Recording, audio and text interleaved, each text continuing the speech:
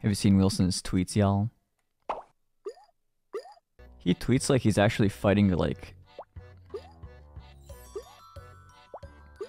some kind of like evil organization as a hero being like, You took the first place. Now I am going to fight against you and become Hokage. You know? His tweets have that energy. Lamel, you sound like Wilson too? Oh, that was not not intentional, but cool.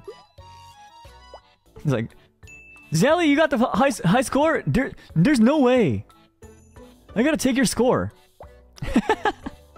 I will defeat you and collect all the magical Dragon Balls. Maybe I'm getting better at impressions. OMG Wilson, is that you? Guys, today I think I've got it.